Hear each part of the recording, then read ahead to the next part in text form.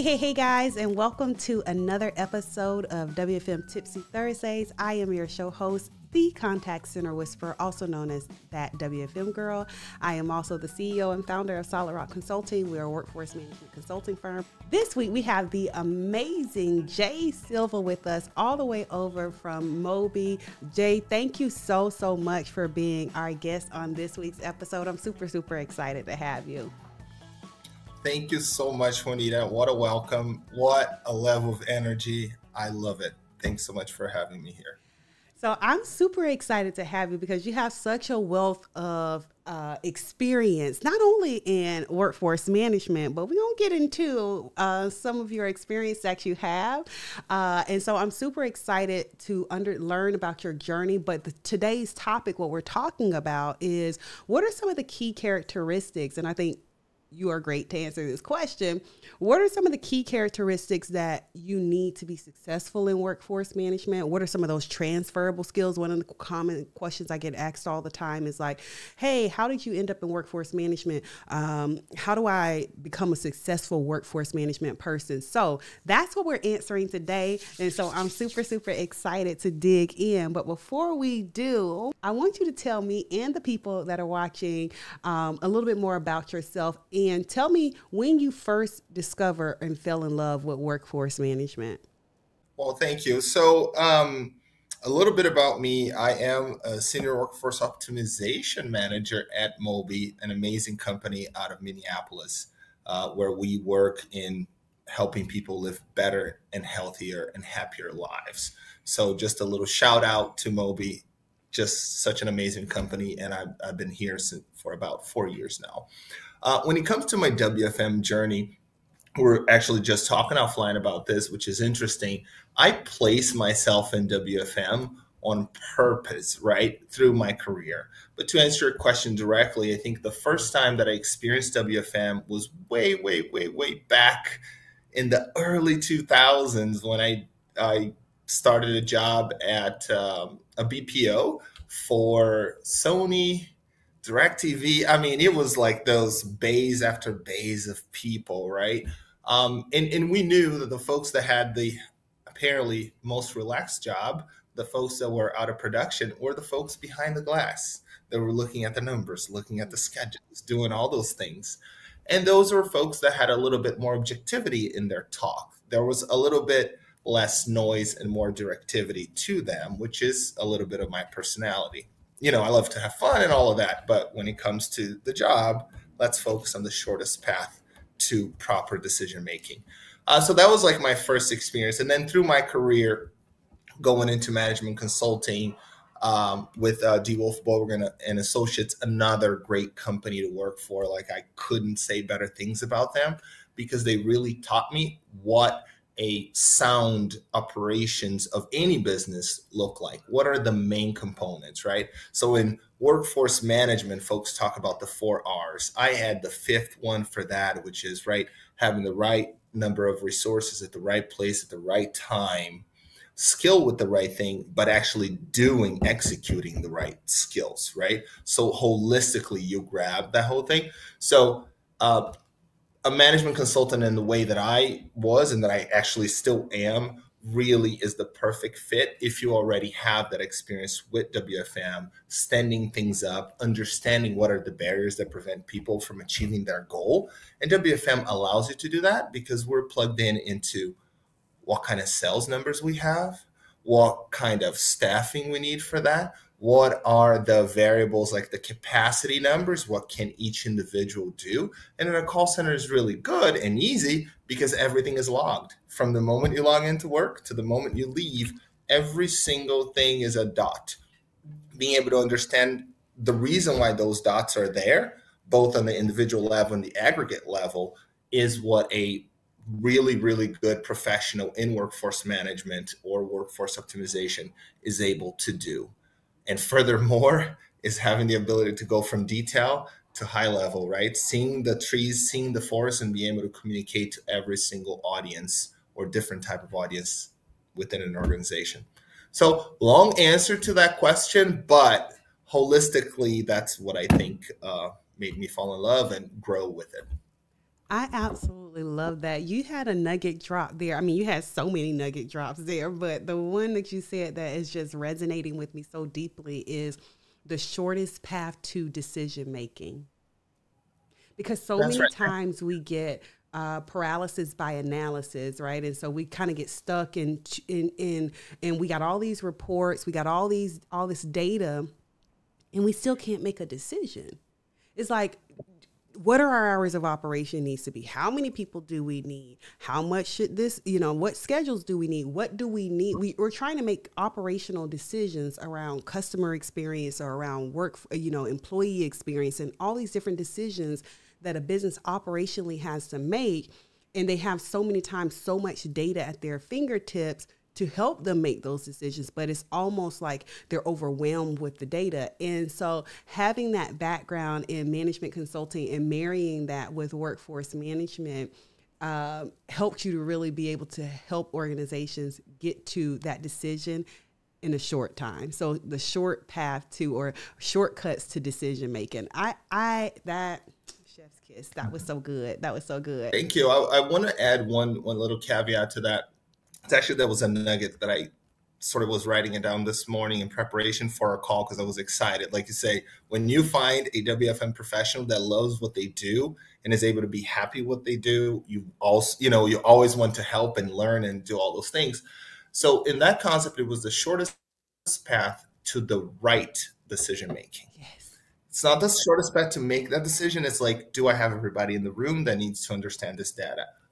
Who needs to understand the detail, who needs to understand the trees, who needs to ask additional questions. Sometimes is not the time to make a decision, it's the time to ask more questions, oh, right? Oh, that's good.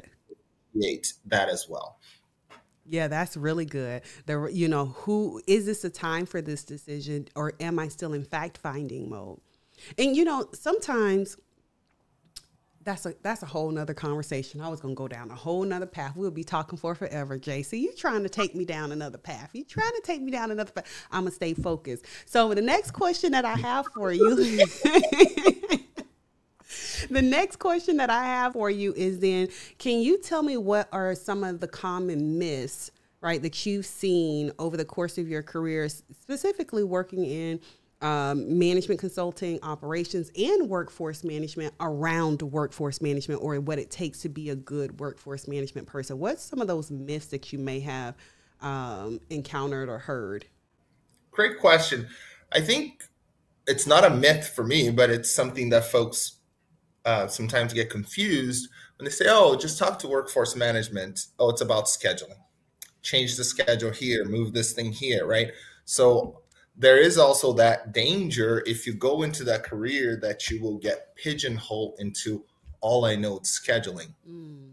Let's be honest, every single platform that is out there, from Five9 to Verint to Genesys to NICE, they all do scheduling. You put the inputs, it's gonna come up. Is it the right schedule for you? Come right here. This week. It's not about that, right? This is important come on, we used to do schedule in a, in a, piece of paper. Like get the grid and you get a schedule. Not that complicated. Um, but you get pigeonhole in that. That's a myth that you can fix operational problems with scheduling solutions, and you cannot. Mm. You, mm. like that one is like to me, it's even more important. You don't get to fix operational issues with scheduling solutions. You can't. So that's a big myth. That's so good. And if I was not, if I wasn't tied down here because we had to do, I had to stay in frame, I would be running around this room right now, right? Like this, that is so good. You do not get to fix. I'm telling you, it's going to be some quotes that come out of here. Put this in the chat, y'all. This, you do not get to fix operational issues with a scheduling solution right like you don't you don't that that's not the end all be all like i say this all the time just because you bought quickbooks that does not make you an accountant right that's if right. you don't have that financial uh, um, function inside of your organization you having a QuickBooks solution does not solve for your cash flow problems, right? It doesn't solve for your lack of visibility into your financial situation inside of the organization. So you need to create a process around your financials right? And cash management and all those different things. And then you leverage the technology, QuickBooks, to scale that function so that you can do it, you know, at a larger scale, more complexities, all the different automate some of the tasks that you're doing manually, right? And so that's the point of leveraging the technology. And so I love that you said you, you don't get the luxury of saying, oh, just throw scheduling at it and then scroll, throw the solution at it and that will fix the thing, right? We need to really look at do we have process around this and what are our operational outcomes that we're trying to solve for? Don't you trying to take me in, okay? You trying to take me in, Jay. Hey, hey, hey there. It's Juanita Coley here, and I want to personally invite you to book a WFM support call if you're currently transitioning into a new WFM solution or you're on the market for a new WFM solution. Trying to purchase a new WFM tool can be a daunting task because so many options that are out on the market. Workforce management is our niche niche skill set. Our superpower is is being able to align that niche skill set with your CX, your customer experience and your employee experience goals. And so I want to talk to you to make sure that while you're transitioning into a new WFM solution or you're purchasing a new WFM solution, it does not impact your customer experience and your employee experience negatively. So if that is you, book a call and I'm excited to talk to you. See you soon. Bye. Last question I have for you. What are some tips?